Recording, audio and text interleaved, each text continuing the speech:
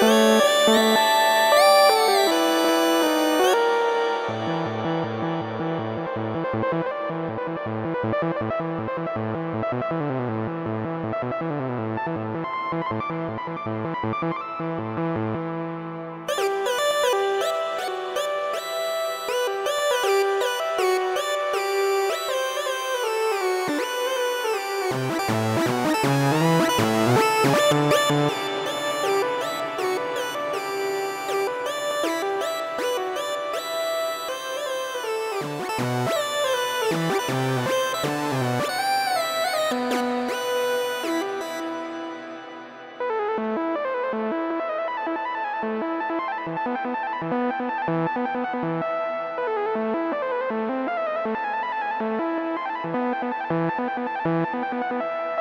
you.